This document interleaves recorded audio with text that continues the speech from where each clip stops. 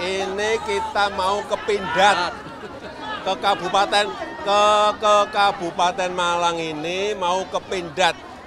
Pindad itu berada di bawah Pak Menteri BUMN Erick Thohir dan di bawah Pak Menteri Pertahanan Pak Prabowo. Ya, nggak ada hubungannya dengan yang ditanyakan.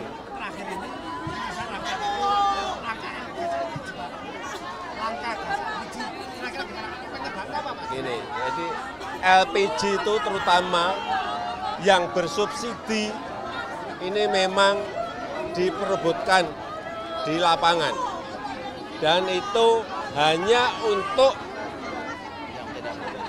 yang kurang mampu. Itu yang harus digarisbawahi.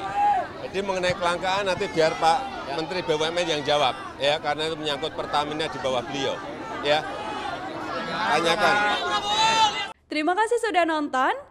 Jangan lupa like, subscribe, dan share ya.